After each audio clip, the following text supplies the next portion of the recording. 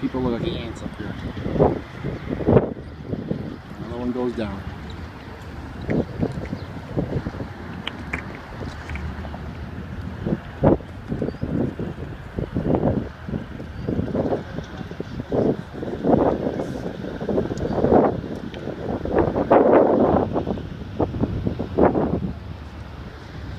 Thank